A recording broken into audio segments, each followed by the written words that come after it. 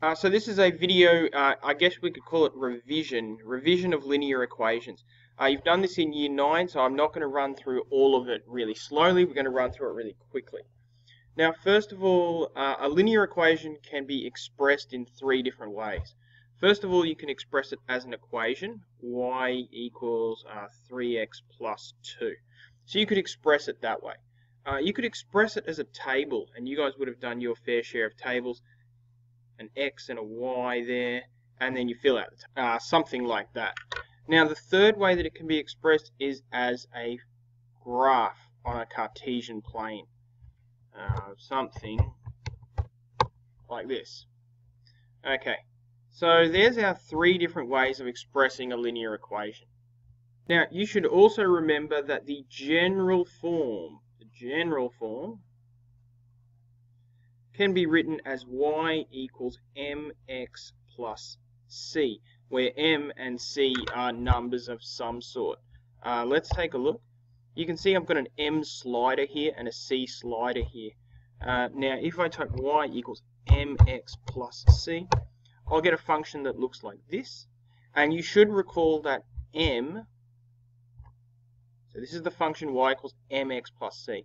Now watch this function here. As I change the m value, the function changes, both the equation here, but also the steepness of this line. So m controls the gradient. If m's negative, it slopes downwards. If um, m is positive, it slopes upwards. And you should also remember that c is the y-intercept. If you watch me move c, our function moves up along the... Sorry, if you watch me move c, if we move it up, it moves up along here. If we move it down, it moves down along here. Something like this. Okay, so that's y equals mx plus c. Now you should also remember that to find the gradient, you can use a couple of things. You can use rise over run, or you can use y2 minus y1 over x2 minus x1, which is the same thing. Um, now the gradient looks something like this. Now again, m equals rise over run, or m equals y2 minus y1 over x2 minus x1. Now this is all revision, so I'm not doing this, I'm not doing examples. Now I've written here, what should you be able to do? Well, right now you should be able to do a couple of things. You should be able to look at any line, and you should be able to pretty quickly come up with what the gradient is. That's really easy. Uh, so you should be able to find m whether it's in this form or whether it's in this form or even whether it's in this form, you should be able to find m. That's number one. Uh, you should also be able to find c. Now that's even e easier. Remember c is the y-intercept. Remember that's the gradient. So you should be able to find c. You should be able to find c from an equation. You should be able to find c from this. And you should be able to find c right there. That's pretty straightforward. This is where things get a little more complicated now. Now you should be able to find the equation from a graph. So in other words, you should be able to look at any line whatsoever.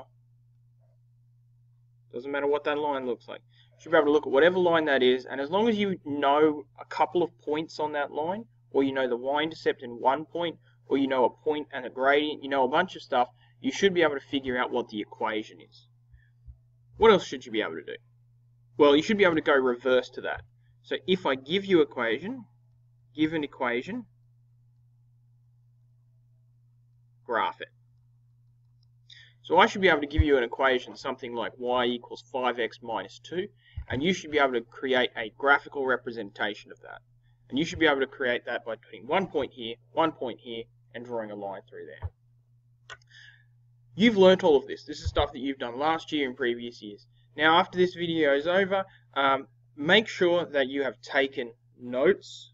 I know that this looks like a bit of a mess, but you need to have you need to understand that there are three ways to represent these things. You need to understand what a gradient is, what m is, what c is, uh, and you need to have an understanding of where we're heading next.